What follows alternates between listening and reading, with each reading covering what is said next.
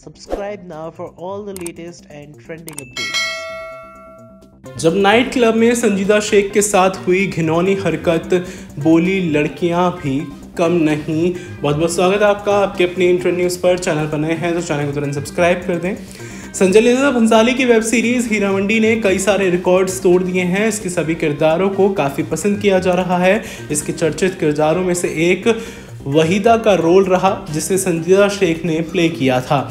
इस कैरेक्टर में संजीदा के अभिनय की सभी ने जमकर तारीफ़ की। इसी बीच अब एक्ट्रेस ने हाल ही में दिए हुए एक इंटरव्यू में अपनी निजी ज़िंदगी से जुड़े हुए कई सारे खुलासे किए हैं। इस दौरान उन्होंने आमिर अली से शादी, तलाक और बेटी के बारे में बहुत कुछ कहा। साथ ही एक घटना का भी खुलासा किया जब उनके साथ नाइट क्लब में छेड़छाड़ हुई, जिसके बाद वो सदमे में चली गई थी। दरअसल संजीदा ने हाल ही में एक इंटरव्यू में बात की है। इस दौरान उन्होंने नाइट क्लब की घटना का ज़िक्र किया और बताया कि इसके बाद वो बहुत कुछ सोचने पर मजबूर हो गई थी। उन्होंने बताया था कि उन्हें वो घटना हल्की हल्की याद है। इसमें एक महिला शामिल थी, वो नाइट क्लब में गई हुई थी, तभी एक लड़की उनके पास से जा रही थी और उसने वहाँ से गुजरते वक्त उनकी ब्रेस्ट को छुआ और वहाँ से चली गई। इस वाक्य के बाद वो शॉक्ड रह गई। सोच में पड़ गई थी कि आखिरकार उनके साथ ही क्या हुआ। इस घटना का उन पर काफ़ी गहरा सदमा पहुँचा था।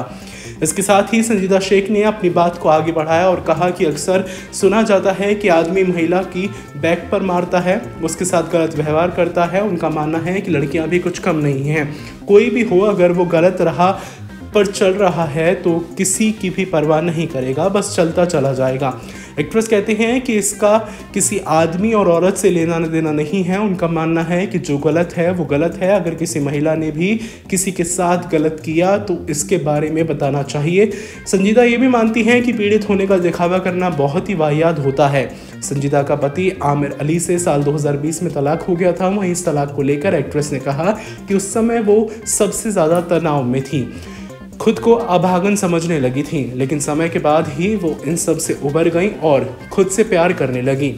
इन सबसे उबरने में एक्ट्रेस खुद को लकी मानती हैं कि वो इन सब चीज़ों से जल्दी बाहर आ गई। अब वो बेहद ही खुश हैं। आपको बता दें कि बीते साल ही संजीदा अपनी पर्सनल लाइफ को लेकर एक बार फिर से सुर्खियों में आई थी। उनका नाम हर्षवर्धन राणे के साथ जुड़ा था। खबर थी कि दोनों एक दूसरे को डेट कर रहे हैं।